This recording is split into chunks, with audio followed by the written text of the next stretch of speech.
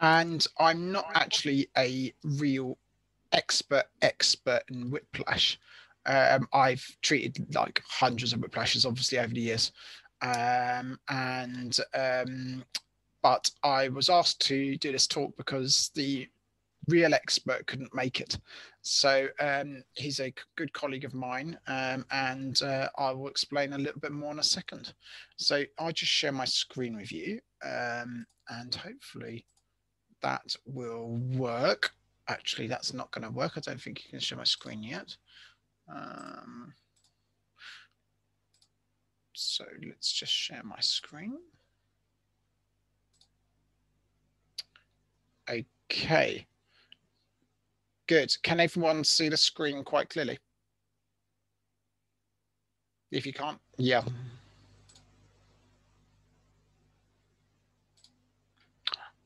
So uh, rehab of whiplash injury. Um, I have been very lucky to get involved with a guy called Chris Worsfold, who is probably the one of the UK's top um, physiotherapists in whiplash and I may even be able to see if he can come on the um, on to, to speak to us live at some point. He's an extremely busy guy. Uh, he works in Kent, and he's sort of he does a lot of things. He represents the CSP who advise government on whiplash. He has consulted for McLaren, and he has created some amazing functional exercises um, to um, uh, to support rehabilitation on whiplash. Um, and he's supported uh, this this presentation. And also thanks to Kathy Davis, who is one of our students on two cohorts ago, and Kathy helped me prepare the presentation. Um, Chris Worsfold has a great website, and you can sign up to his blog. Um, and he has an amazing um, uh, paper out called um, "Functional Rehabilitation of the Neck." I can really recommend it. Um, it was released last year. It's an excellent read, and it's one of a few research paper that re- few research papers that really clearly go through rehabilitation exercises. And I find it really frustrating when you read research papers and it's not very clear how to do the exercises. Um, you can follow Chris on Twitter uh, at Chris Worsfold one uh, and his websites www.chrisworsfold.com. Uh, my experience, well, you all know me, so I'm not going to bore you with that. Um, so whiplash associated disorders. So whiplash is the mechanism.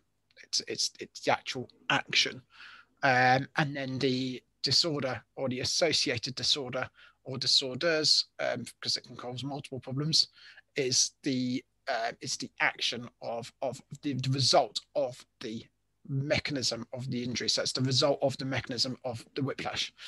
Um, so it's, it's a sudden um, acceleration, deceleration. Um, it's often low speed um, motor vehicle accidents.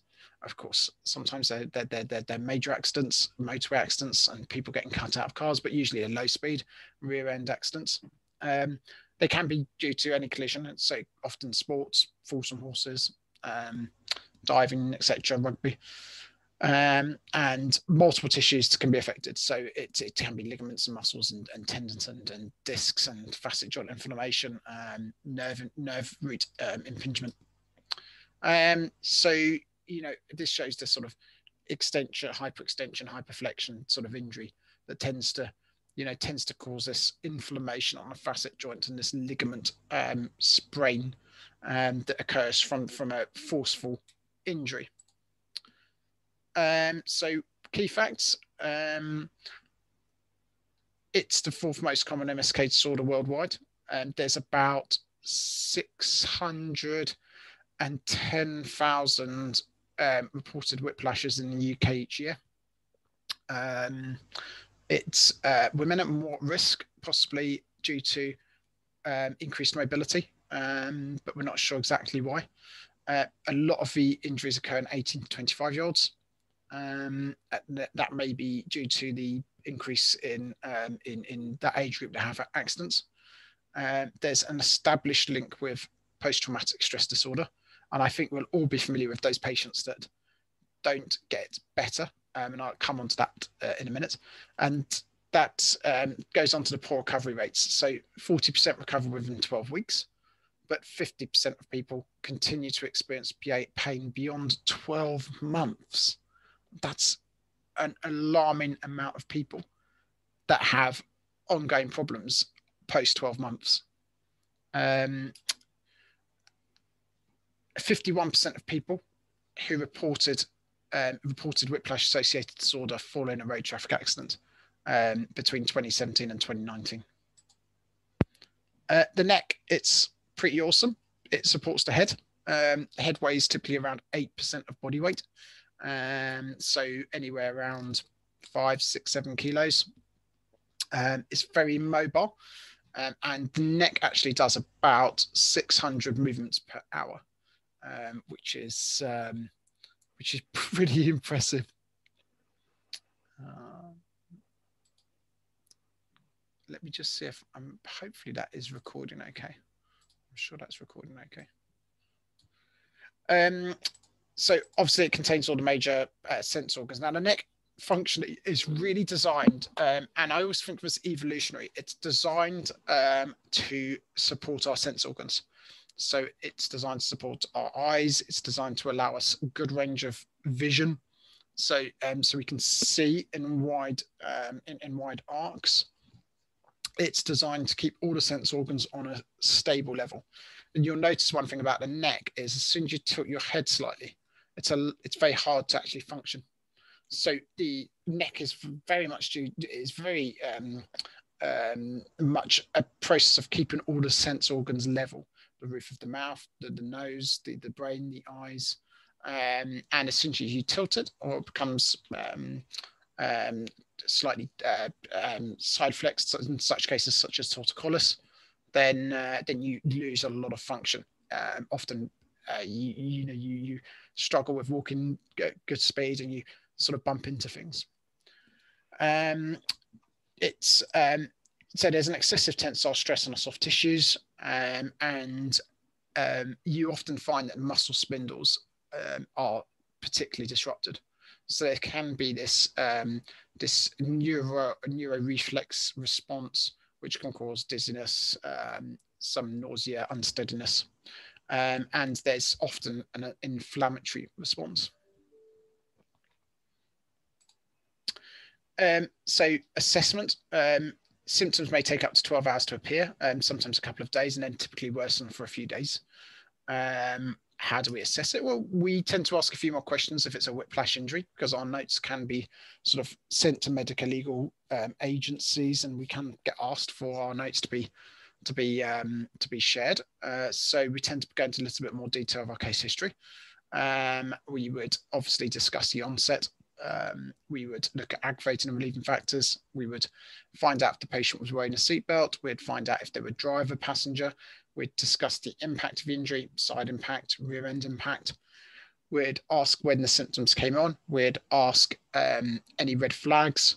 So we would want to know red flags such as headaches, um, double vision, blurred vision, drop attacks, dizziness, um, nausea, nystagmus, um, um, uh, uh, vertigo, dysphagia, dysarthria, um, you know, any sort of altered eye movements. Um, they're kind of key red flags. Bilateral nerve pains down the arms is another red flag. And um, we would want to exclude a stroke or cervical artery dis- dis- uh, dissection. Obviously, that that that would be a major trauma, and that would probably be um, be presenting in A and E, not not with us. That would be an ambulance job. But um, I've never seen one. Uh, but we'd obviously want to rule out the you know the nausea, nystagmus, um, sort of um, bilateral nerve pain type symptom uh, symptom picture. Um, we'd want to exclude uh, fracture and cervical myelopathy. So obviously fracture would be from a high speed in, uh, incident or if they're particularly osteoporotic. Certainly um, be wary of an upper cervical fracture like an odontoid peg um, with the particularly with the elderly. Um, and you'd uh, just be wary in, the elderly with cervical myelopathy or spinal canal stenosis. So there may be some natural narrowing of the spinal canal, um, which then can be exacerbated um, and cause bilateral neurological symptoms, which can progressively worsen.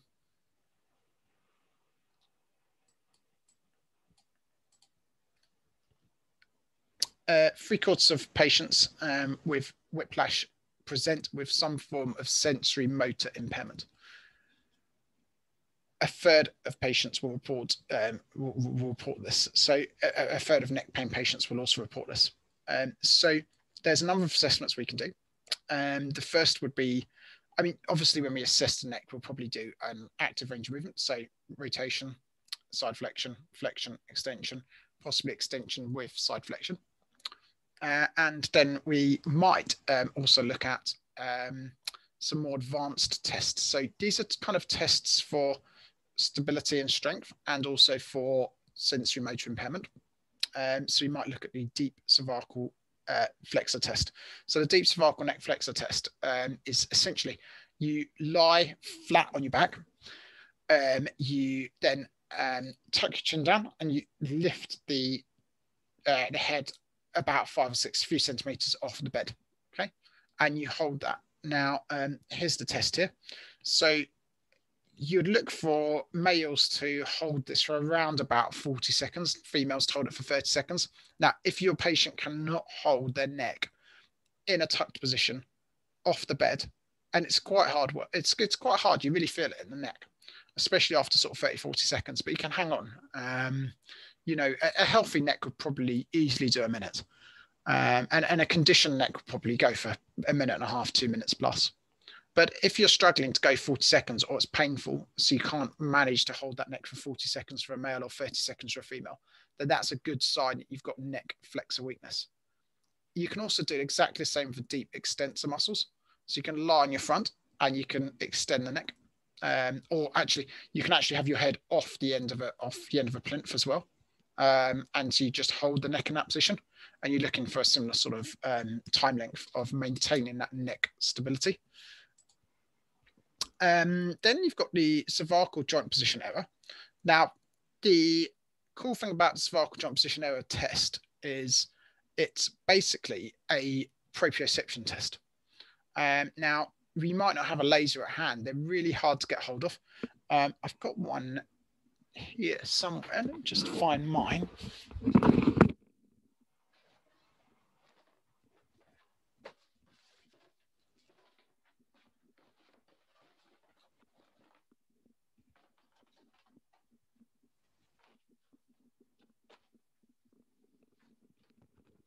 Can everyone still see me, or is it um, is it on the actual screen? Can you just see the screen, or can you see me as well? Let me see if I can show you. Um, stop screen sharing.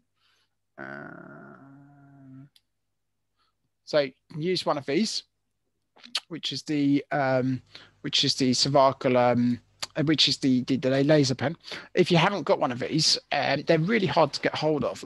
Um, you can actually just get a laser pen and just get like a uh, like a like a cycle helmet.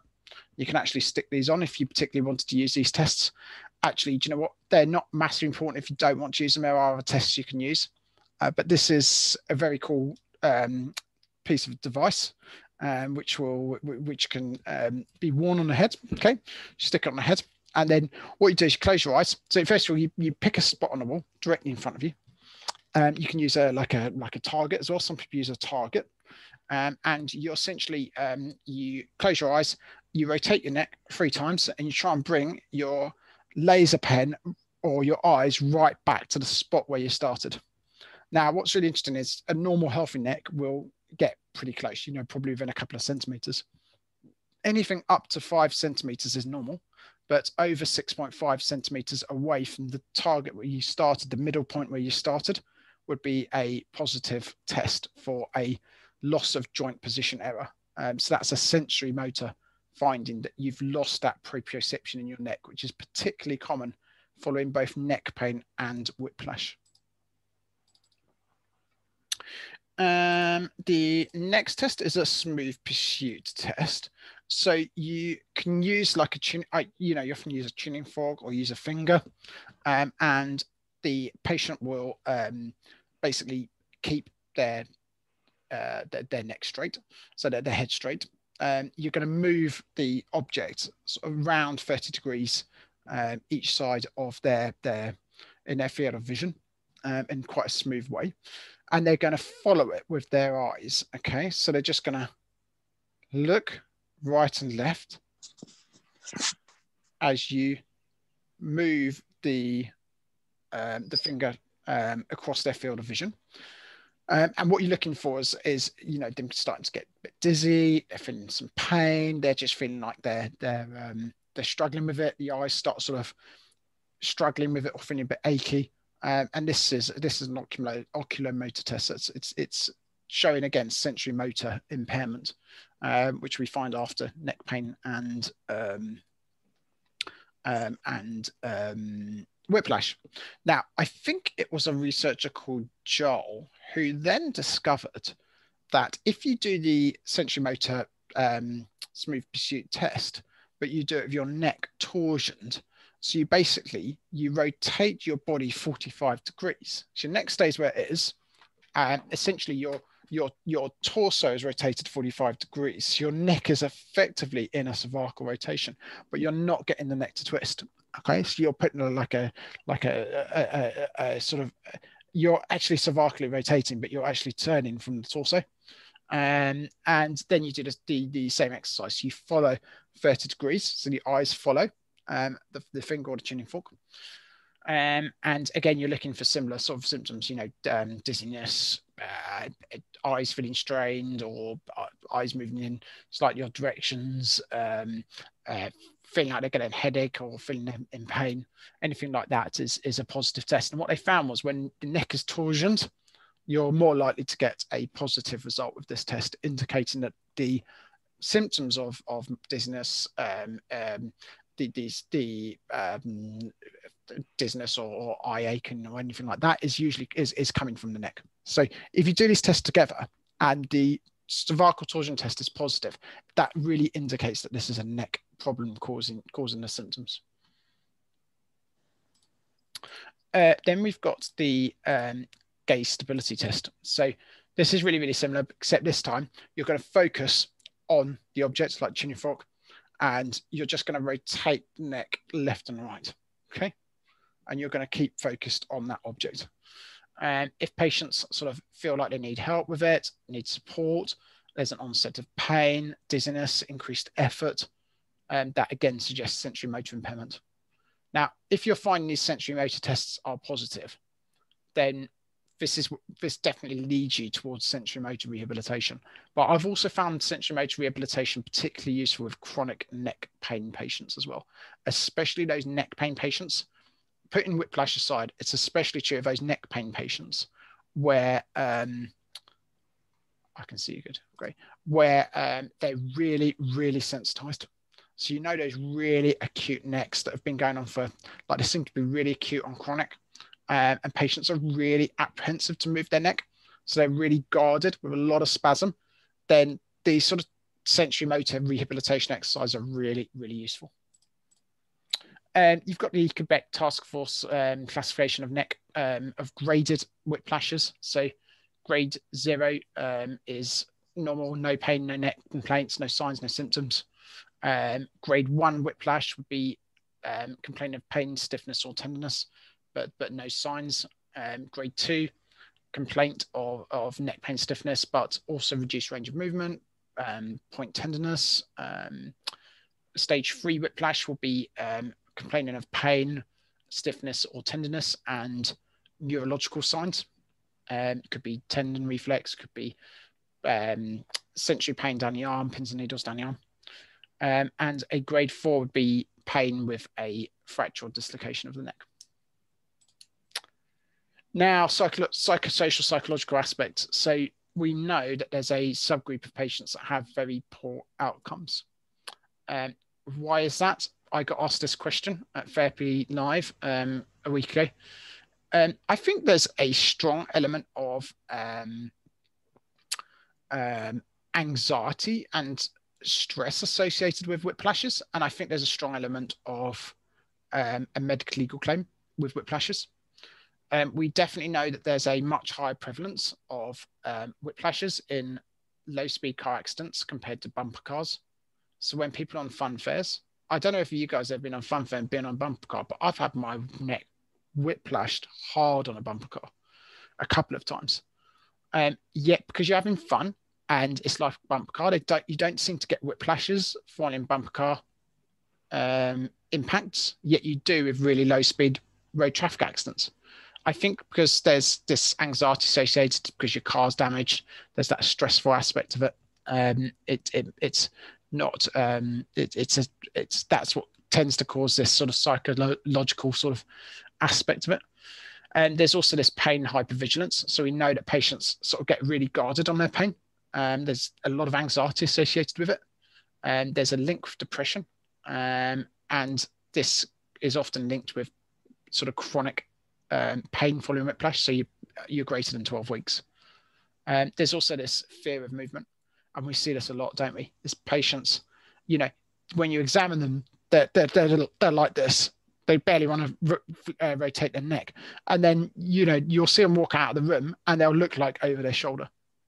Because when they're not thinking about it. They can actually rotate their neck, but when they think about it and you ask them to exa- and you examine it, they've got this stiffness. I sometimes wonder whether there's there's, there's that element of, of wanting to look like you've got a stiff neck as well if there's a if there's a medical legal claim going through. Um, we also see that adherence to home exercises is poor. Um, why is that? I think sometimes that we overprescribe exercises, so we give too many. We know any more than two exercises and adherence starts to reduce. So try and avoid being that physio that prescribes sort of 10, 15, 20 plus exercises because adherence is known to be poor with whiplash.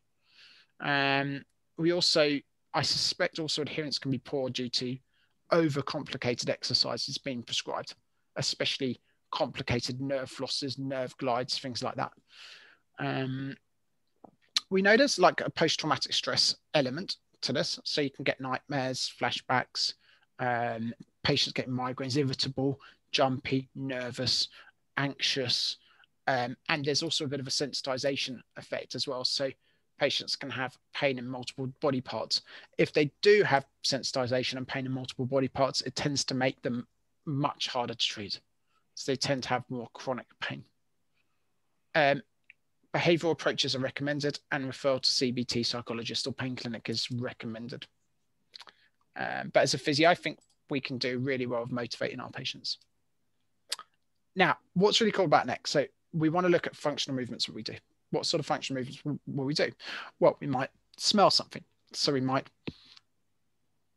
just um, protract our neck forwards. So we might smell coffee or smell some flowers. We might wash our hair into extension. We might look left and right as we're crossing a road. So we might be walking and looking left and right. We might stop and look and listen as we tilt our head forwards and to the side. We might reverse a car. We might be shaving with our neck at a funny angle. Um, and so we're looking at functional movements of, of the neck when we start to rehabilitate. Um, what rehab approaches are there? So, as you've heard me talk when I did the shoulder talk, there's lots and lots and lots and lots of different rehab approaches. Now, I've got my own approach. Um, I'm not going into details about today because I want to focus more on functional rehabilitation, but I've got my own specific where I rehabilitate necks. Um, and I'm very happy to, um, to do a, a, second talk on that at some point in the future. Um, but what does the evidence suggest? Well, first of all, education. Um, there's a lot of support for education. There's even some support for group exercises, um, reassurance so motivating our patients, reassuring our patients that you know that, that, that, that there's no damage to the neck is useful. Um, so it's almost like convincing the patients that the, the injuries they have are not possibly as bad as they think. But that's got to be done pretty carefully. But definitely reassuring our patients, especially if they're they're, they're over dramatizing the symptoms.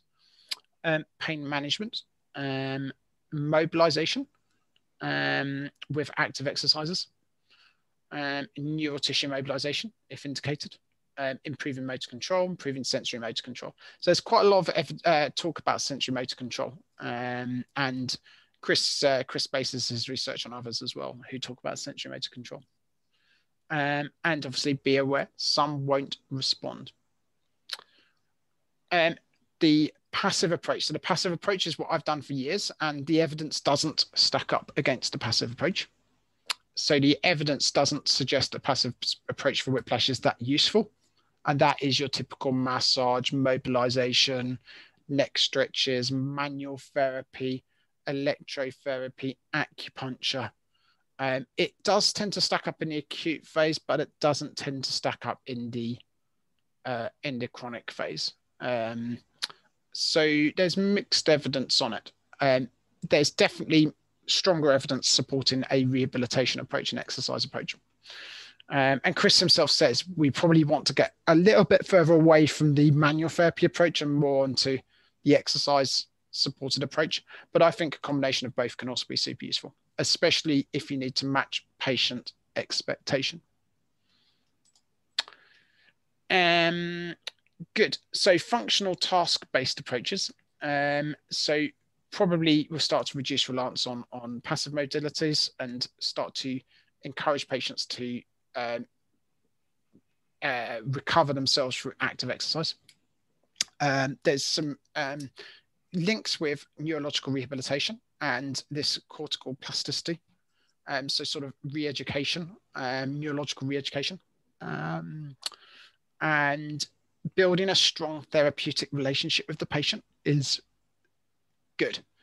I guess it's what we always say about building that likability factor, um, supporting your patients, um, empathy, listening, shared goals, trust. And that's a really interesting thing that why sometimes research breaks down on, on manual therapy because what they miss is they they miss that patient practitioner interaction. As I get very good results with with treating whiplash with manual therapy, um, but I have that relationship with my patient, and you know, and and and when you research that, you you, you don't have that practitioner patient relationship. The, the listening the empathy the encouragement the motivation the the chatting the the the, the manual therapy the electrotherapy the exercises is all packaged into one that helps our patients. So let's talk about functional rehab. So these are all chris's exercises and they're really really good um, and the really cool thing is they are all on rehab my patient so um, they come under neck sensory motor if you're looking for them they're super easy to do, and patients do get them. Um, so the first one, th- there's lots. I've just picked out some of the sort of sort of the, the really good ones. Um, is the mirror. Um, so essentially, what you're doing is you are um, keeping your neck straight, and you're going to rotate your body around in 180 degrees. So you're set effectively. You're kind of you're mobilizing your neck without without actively turning your, without actively rotating your cervical spine. So you're you're you're rotating your thoracic spine under your cervical spine, very much like a golfer would do with a golf swing. Um, the pedestrian. So this is a similar thing um, where you'll be walking and you'll just be turning your shoulders left and right. So you're rotating the thoracic spine um, under your neck again um, as you're walking. Um, and then you've got the walk past rotation.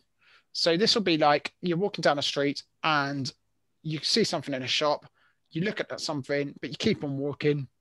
Um, and that's the so you you're rotating as you're walking. So you're, as you're walking further, you're sort of rotating more. Um, crossing a road, so super functionally important. We typically look left and right before we cross, um, and some of us might look left and right as we're crossing. So you're walking and you're rotating the neck. Um, similar to the previous exercise like the pedestrian, but with the pedestrian, you keep your neck straight um, and you're rotating the thoracic spine. With the crossing the road, you're keeping your thoracic spine straight and you're rotating your neck left and right as you walk. Um, cross over the road with a step. So the idea behind this is you'll cross the road and step up onto the curb. Um, and as you step up, you, you might be looking left and right to see sort of any pedestrians coming along the pavement. Um, the sit and reach. So you might reach forwards to, to, to, grab something if somebody passes you something.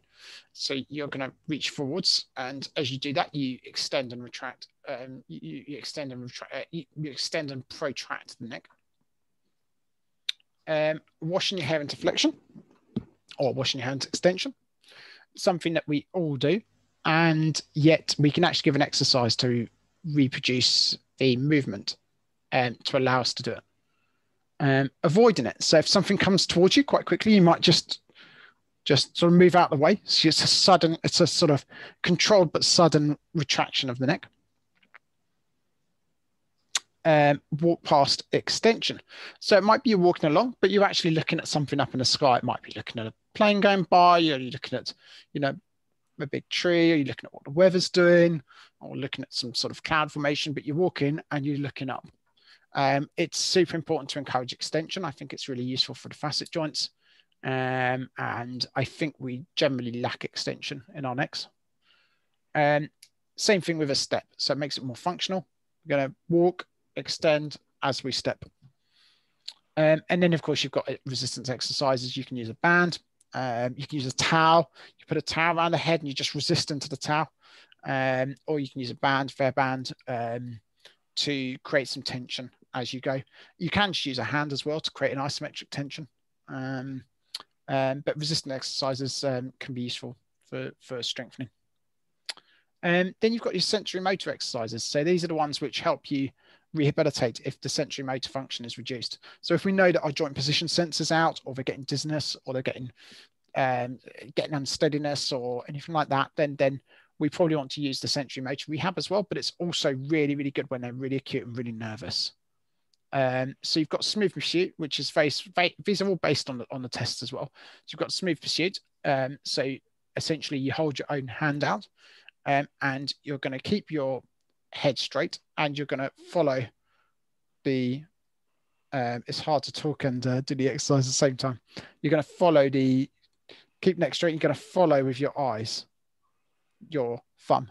Okay, um, and then you've got exactly the same move, exactly the same thing, but gaze stability. So actually, this time, what you do is you keep your your thumb straight, but you're going to keep your eyes on your thumb and rotate your neck. And the cool thing about that is that it kind of confuses your nervous system a bit because your eyes are focused on the thumb. You kind of can start to rotate and get movement in your neck without you without patients feeling particularly anxious about it. Um, you've got laser pen exercises, so you can ask your patient to buy one of these, stick it on your head, um, you know, stick it on a psych helmet, um, and practice s- smooth, controlled movements of tracing a circle or tracing a map or drawing the alphabet. And these fine, small uh, movements can be really useful for um, for fine motor control and and encouraging those muscle spindles to send that this this sort of this joint position sense um, back to the brain. Good. Um, well, that concludes my talk. So I'm happy to open any uh, questions. There's some good resources on Physiopedia, obviously on Rehab My Patient and chrisworsfold.com.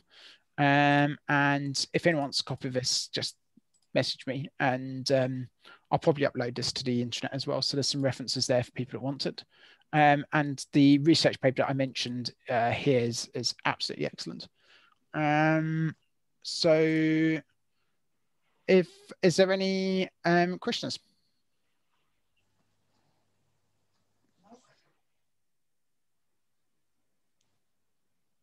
Uh, who is that? Is that me asking myself? Um, well, as I said during the first part of the talk, um, these are very hard to get, um, and the best way to get them is to order a laser pen um, and just just buy one offline, buy one on eBay, um, and just attach it to a cycle helmet because you can't really get hold of these very easily.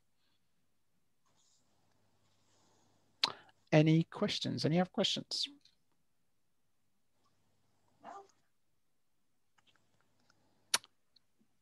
Thank you. Thank you. Okay, good.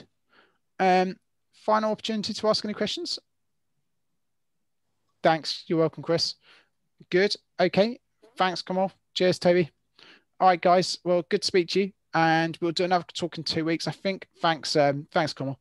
Um, thanks, uh, um, I think what we'll do is, I think Chris is going to um, try and organise a, a, chat in a couple of weeks. And I know as well, I think, Conwell, you're you're you're quite interested in doing a um, a talk maybe with, with Sam, aren't you? On um, uh, thank, thanks, Antonio, on um, on um, calf and and vascular changes in the calf. So um, hopefully we can start to um, maybe maybe in a few weeks we can do that as well. Um, thanks, Jared. All right, guys, take care, and we'll see you soon.